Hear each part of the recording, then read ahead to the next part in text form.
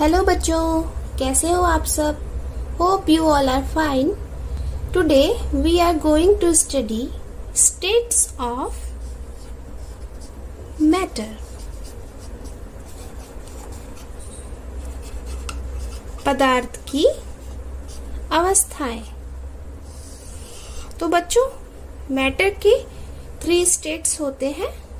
There are three states of there are three states of matter. पदार्थ की तीन अवस्थाएँ होती हैं। Number one solid state number two liquid state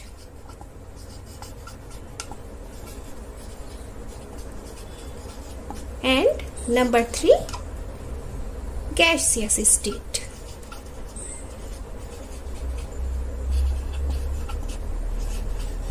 सबसे पहले हम सॉलिड स्टेट के बारे में डिस्कशन करते हैं। सॉलिड स्टेट जिसे हम ठोस अवस्था कहते हैं, इसकी क्या कैरेक्टरिस्टिक होती है? इस सॉलिड स्टेट की जो मेन कैरेक्टरिस्टिक होती है, वह होती है इसका fixed volume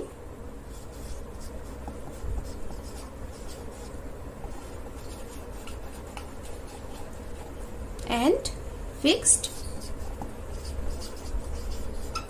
shape solid state के फिक्स्ड वॉल्यूम और फिक्स्ड शेप का क्या मतलब होता है? कि अगर हम इस पे कोई एक्सटर्नल फोर्स लगाते हैं तो भी यह अपने शेप को और अपने वॉल्यूम को चेंज नहीं करता है। इसको मैं आपको एक एग्ज़ाम्पल के थ्रू समझाती हूँ।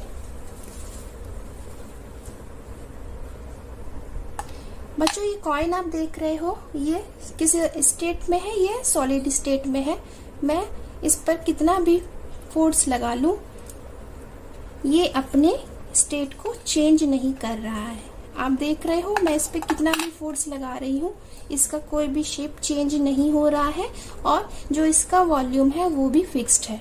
तो इस एग्ज़ाम्पल से आप अच्छे से समझ सकते हो कि जो सॉलिड स्टेट होती है, उसका वॉल्यूम फिक्स्ड होता है और शेप भी फिक्स्ड होता है। अगर मैं इस कॉइन को किसी पानी के गिलास में इसको मैं डालती हूँ तो भी आप देखना इसका जो शेप है, वो चेंज नहीं होता है। ये आप देख रहे हो। इसके ना तो वॉल्यूम में ही कोई चेंज है और ना ही इसका शेप चेंज हो रहा है। तो इस तरह आप अपने घर में इस एक्सपेरिमेंट को करके यह देख सकते हो कि सॉलिड जो स्टेट होती है, उसका फिक्स्ड वॉल्यूम होता है और फिक्स्ड शेप होता है। अब हम पदार्थ की दूसरी अवस्था को देख लेते हैं। पदार्थ की जो दूसरी अवस्था है, उसे लिक्विड स्टेट कहा जाता है और हिंदी में इसको कहते हैं द्रव अवस्था। तो लिक्विड स्टेट की क्या कैरेक्टरिस्टिक्स होती हैं?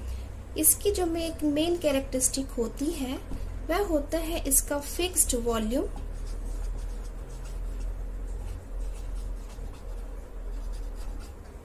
यानी कि इसका जो आयतन होता है लिक्विड स्टेट का, वो परिवर्तित नहीं होता है. एंड चेंजेबल शेप इसका क्या मतलब हुआ? कि जो पदार्थ की द्रव्य अवस्था होती है, उसका आयतन तो फिक्स्ड होता है, लेकिन जो इसका आकार होता है, वह परिवर्तित होते रहता है। इसको मैं आपको एक एग्ज़ाम्पल की तरह दिखाती हूँ। ये मैंने लिक्विड लिया है एक गिलास में, और ये आप देख रहे हैं कि ये इसका जो शेप है, इस गिलास की तरह से है। अब मैं इसको दूसरे कप में डाल देती हूँ। अब आप देख रहे हो कि इसका वॉल्यूम तो सेम ही रह गया, लेकिन इसका जो शेप है वो अब चेंज हो चुका है।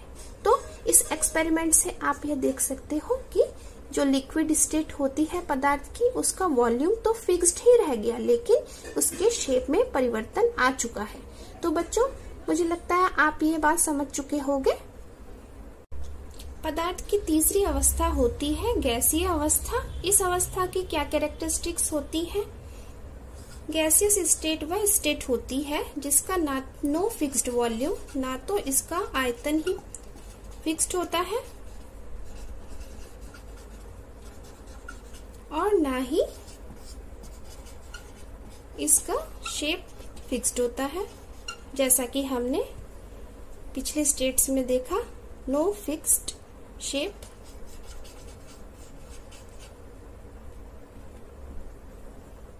बच्चों, जो नेक्स्ट टर्म हमको पढ़ना है, वह है डिफ्यूजन जिसे विसरण भी कहा जाता है।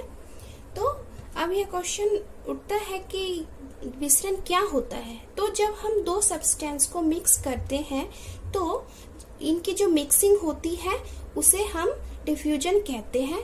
अब आप ये सोच रहे होंगे कि ये डिफ्यूजन होता किस तरह से है? तो जो सब्सटेंस होते हैं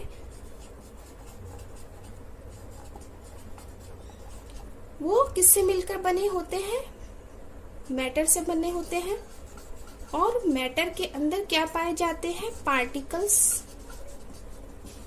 तो इन पार्टिकल्स का जो मूवमेंट होता है movement of particles causes diffusion और यह मिक्सिंग तब तक होती रहती है जब हम लोगों को एक होमोजेनस मिक्सचर नहीं मिल जाता। तो अब ये जो मूवमेंट होता है पार्टिकल्स का जिस भी स्टेट में मैटर के जिस भी स्टेट में जितने ज़्यादा होता है, उस स्टेट में डिफ्यूजन उतना ही ज़्यादा होता है। तो हम लोगों ने ये पहले भी पढ़ चुका है कि जो सॉलिड स्टेट होती है, उसके जो पार्टिकल्स होते हैं, उनके बीच में अट्रैक्टिव फोर्स सबसे ज़्यादा होता है। उसके बाद जो लिक्विड स्टेट होती है, उनके पार्टिकल्स के बीच में अट्रैक्टिव फोर्स होता है और जो गैसियस स्टेट्स होती है, उनके पार्टिकल्स के बीच में अट्रैक्टिव फोर्स एकदम ज़ीरो होता है।